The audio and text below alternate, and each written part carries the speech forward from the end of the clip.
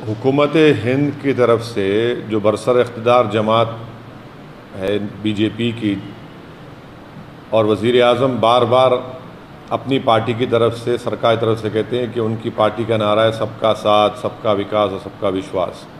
वो हमेशा से एक झूठ साबित हुआ है और अब भी जो ministry of housing urban affairs ministry के तहत स्वानिधि एक स्कीम है जिसमें ठेला बंडी या रेडी पटरी पे दुकान लगाने वालों को इस मिनिस्ट्री ने बत्तीस लाख छब्बीस बत्तीस लाख छब्बीस हज़ार लोन दिया है, जिसमें से सिर्फ़ तीन सौ इकतीस अकलीतों को दिया गया है। अरे भैया, क्यों धोखा दे रहे माइनॉरिटीज़ को, मुसलमानों को आप?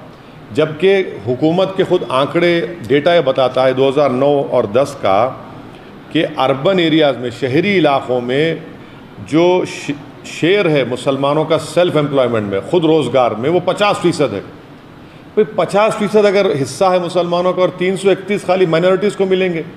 इससे ये बात साफ़ ज़ाहिर हो रही है कि नरेंद्र मोदी की सरकार गोलवालकर और सावरकर का जो ख्वाब था कि भारत के मुसलमानों को सेकंड क्लास सिटीज़न बनाना, वो काम कर रही हैं।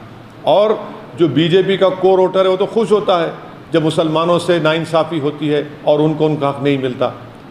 ये सिलसिला सिर्फ़ इस स्कीम तक नहीं है, बल्कि प्रधानमंत्री आवास योजना ग्रामीण में देख लिए मुसलमानों का शेयर कितना है।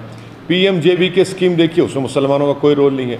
तो एक भाजपा की सरकार एक पूरे मनसूबाबंद तरीके से मुसलमानों को, जो गवर्नमेंट की स्कीम्स में उनका हिस्सा नहीं दे रही है, और बार बार झूठ बोलती है, ये आरटीआई का रिप्लाई है। अब इस पर क्या जवाब देगी भाजपा, बताइए।